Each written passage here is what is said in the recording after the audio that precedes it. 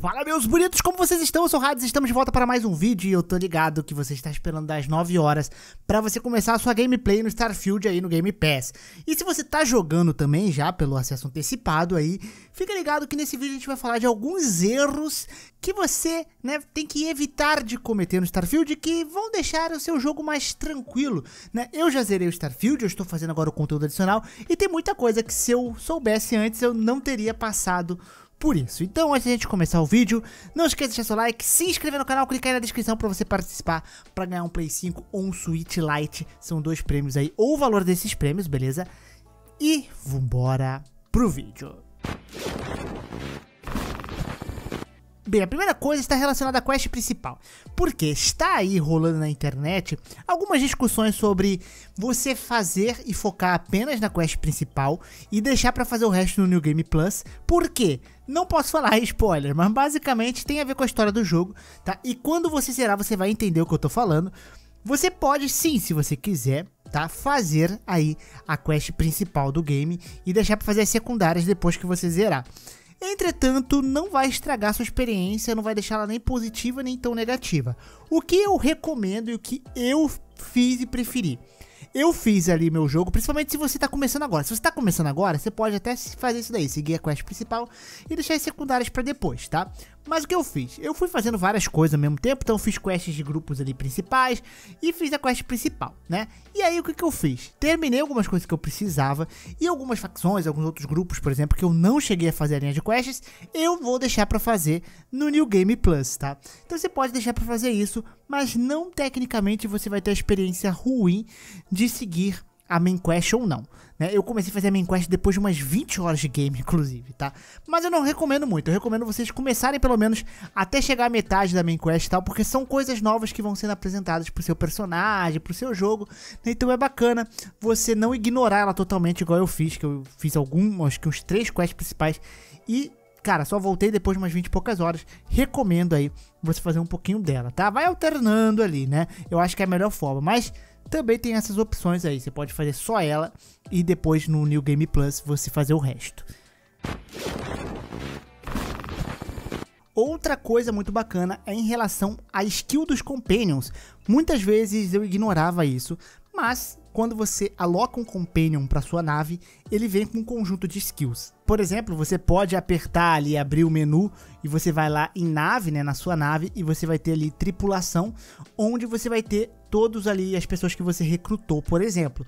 Né? Essas pessoas possuem habilidades e se elas estiverem na sua nave, você vai pegar a habilidade dela, né? Então, por exemplo, aqui a Sarah, ela vem com 3 de, de, é, de astrodinâmica e lasers.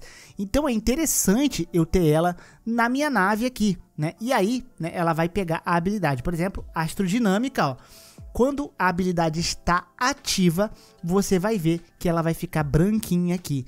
Ou seja, né, ela tem 4 em astrodinâmica. Então, né, se você for ver ali a habilidade de astrodinâmica, o nível 4, por exemplo, ó, ela reduz o consumo de combustível dos motores de dobra em 50%. Então, quando você tem a Sara na sua equipe, você vai ter isso aqui no nível 4. Então, tem habilidades, por exemplo, só de você ter a pessoa na sua equipe, você não precisa tecnicamente, né, upar aqui e gastar pontos nisso, porque pô, a Sara já tem isso aqui, maluco. Né? Então, sempre que você for recrutar um companion, ele vai aparecer as habilidades que ele tem do lado, né? E quando a habilidade estiver ativa, tá? Você automaticamente vai ter este pontinho aqui, né? O, por exemplo, o Barrett, ó, se eu coloquei ele na nave, ele tem sistema de feixes de partícula e engenharia de espaçonave ativo, 4 e 3, né? Então aqui, ó, ele vai ter armas de feixe de partícula, vão causar 30% a mais de dano quando ele estiver na sua nave. E também engenharia de espaçonave, né? É, quando você consertar a nave, por exemplo, você vai consertá-la mais rápido. Então sempre fiquem atentos aqui, né? E veja habilidade, por exemplo, aqui, gestão de entrepostos. É interessante, então, esse personagem que tem isso, você mandar ele para um entreposto seu do que ficar na sua nave, né? E dependendo também, você vai querer personagens que sejam bons às vezes para sua exploração. Você vai querer andar com eles porque na exploração eles vão te ajudar, né? E com alguns tipos de armítias, por exemplo.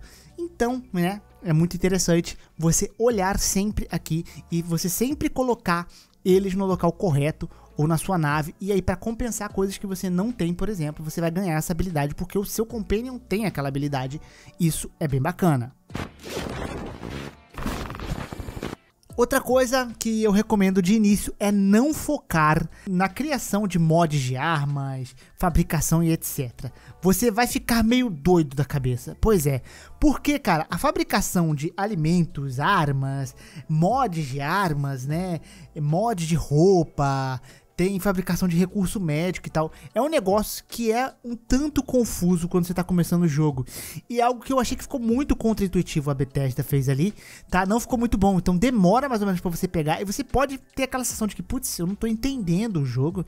E não é bem assim. Primeiro que você não precisa focar nisso inicialmente, você é sempre muito bem recompensado. Se você tá jogando no normal, cara, de boa, você não vai ter grandes dificuldades. Eu só fui realmente começar a mexer nisso, a tentar entender bem pra frente do jogo mesmo, cara. Tipo, muitas horas depois.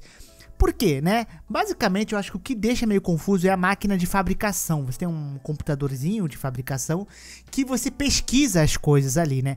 E o jogo não te dá muita não te fala. Tipo, você tá pesquisando, você fala, eu tô pesquisando o quê? Eu tô desbloqueando, eu tô craftando esses itens, eu não tô, você fica meio perdido. Basicamente, essa máquina de fabricação, você vai desbloquear esses itens para serem criados depois. Então você basicamente vai utilizar recursos para descobrir a criação desses itens, tipo, ah, você vai descobrir um mod de arma X. Ou você vai descobrir como fazer a comida X.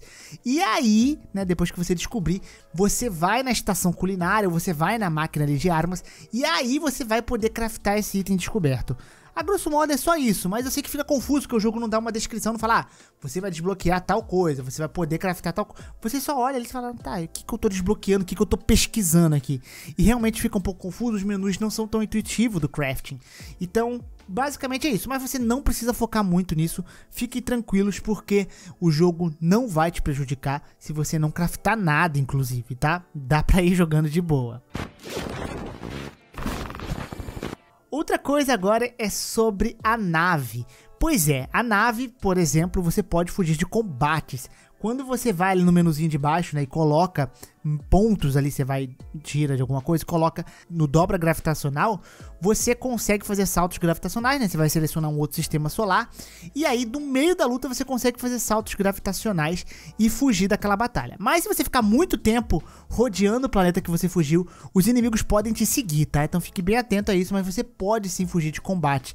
Você só não consegue fugir para planetas do mesmo sistema. Se você tentar fazer isso, o jogo vai falar que você está em combate, não pode fazer isso. Mas se você colocar pontos ali no gravitacional e você selecionar um outro sistema solar, você vai conseguir fazer a dobra e fugir do combate, o que é bem útil. Outra coisa que acontecia muito comigo também é de naves ficarem passando por cima e eu tentando seguir elas ali com a mira.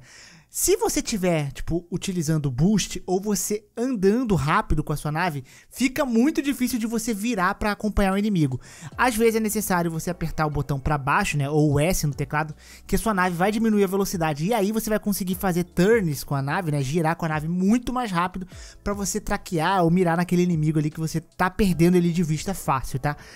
Infelizmente você acaba ficando um pouco mais exposto, né? Mas você consegue virar bem rápido e se você estiver mais forte que o inimigo vai te ajudar bastante. É algo que eu demorei um pouco a perceber, mas cara, ajuda pra caramba. Outra coisa está em torno aí do peso, né? Você vira e mexe tá ficando sobrecarregado. Mas para aliviar um pouco, você pode enviar esse peso para o seu ali companion. Se você tiver com algum companion do seu lado, você pode falar com ele, falar que você quer trocar algumas coisas, quer dar coisas para ele, e aí você vai ter acesso ao menu dele e o seu, né? Você pode alternar entre o seu e o dele e você passar os itens para ele. Então você tecnicamente tem um dobro de inventário se você contar com o seu companion, né? Eu só acho isso um pouco chato, porque sempre que você quiser vender um item, por exemplo, né, você vai ter sempre caindo no menu do companion, tirando, colocando no seu, indo lá vender ou jogando no compartimento da nave. O que pode ser um pouquinho chato, né? Mas é uma solução aí se você não for utilizar o comando, se você não tiver no PC. No PC, você pode apertar aspas simples e digitar este comando aí, né? Onde o X vai ser o valor de tamanho de inventário que você quer. Você pode ficar com inventário infinito, caso você ache mais confortável, né? Mas esta é uma opção muito boa caso você esteja jogando no console, por exemplo, tá? Outra coisa é sobre itens furtados. Quando você furta um item, né, você vai ficar com uma setinha em vermelho ali. Você vai poder usar esse item norma normalmente, você pode até vender este item aí, se eu não me engano, normalmente, tá? Mas tem uma coisa, toma muito cuidado, porque isso aconteceu comigo. Eu tinha várias armítias é, sets, por exemplo, que eu tinha furtado e eu tava utilizando, por exemplo.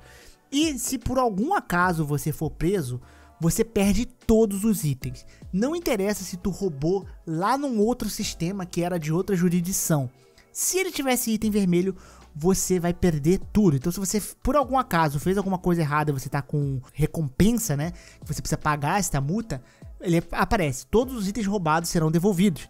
Às vezes você acha que é só porque você. aquele item que você pegou e você foi pego, por exemplo, que vai ser devolvido. Não. Vai ser devolvido todos os itens que você tem com a setinha vermelha. E não adianta mandar os itens com a setinha vermelha pro seu companion, porque eles também vão sumir. Então, muito cuidado aí quando você for pego, tá? Porque você vai perder todos os itens seus que foram roubados aí. Não interessa onde você roubou. E não é só daquele ponto ali, tá? Então, muito cuidado, porque eu perdi muitas armas assim uma vez. Falei, cara, cadê? Tinha sumido por causa disso. Outra coisa bem bacana de se observar é que quando você tá andando em cidades, em locais grandes, por exemplo, os NPCs não tem muito nome, né? Aparece tipo civil, minerador em cima. É porque esses NPCs são de menores importância. Então se você falar com ele, nada vai acontecer. Geralmente eles não tem nem menu de conversa. Entretanto, se você for passando setas por cima e você vê um NPC que tem um nome próprio, sei lá, tipo Walter White, né, um nome próprio aquele NPC, você conversar com ele sempre tem algum diálogo e muitas vezes você desbloqueia quests ou podem ser até NPCs que você pode recrutar ali para sua nave, né? Existem muitos NPCs que ficam zanzando que estão procurando serem recrutados.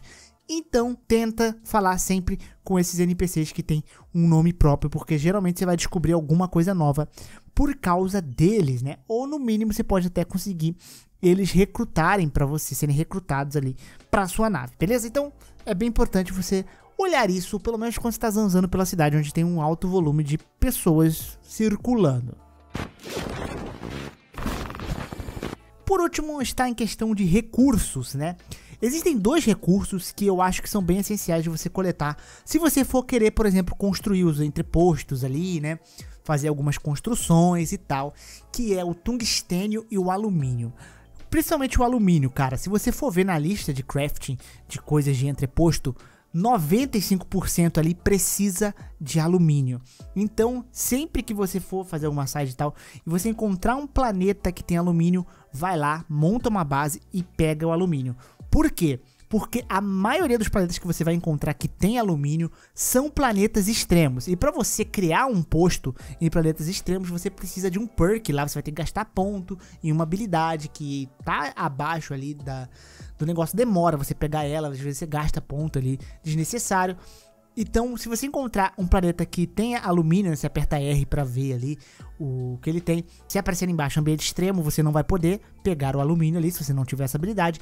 Mas sim, acontece de você encontrar alguns planetas ali que tem o alumínio e não são extremos. Eu encontrei no sistema solar de Altair, mas eu não tenho certeza se, por exemplo, os recursos são aleatórios. Então pode ser que no Altair 3, como foi para mim, não tenha o mesmo recurso, seja um planeta com configurações diferentes. Mas tá, alumínio e tungstênio não negligencia aí, tenta pegar sempre. E a técnica que eu dou, a dica que eu dou, é você construir ali, né, os painéis solares para você ter energia, construir o coletor de alumínio, né? Constrói se você quiser também aqueles aqueles depósitos, né? Você segurando, apertando o E, você linka ele com o coletor e aí tudo vai para aquele depósito. Crafta uma cadeira senta na cadeira e espera, né?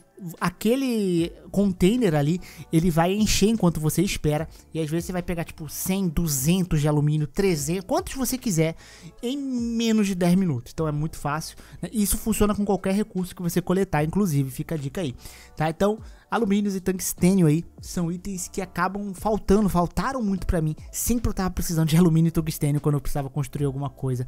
Então, né, tente pegar esses recursos. Caso você encontre planetas aí com eles, já pode fazer isso, beleza?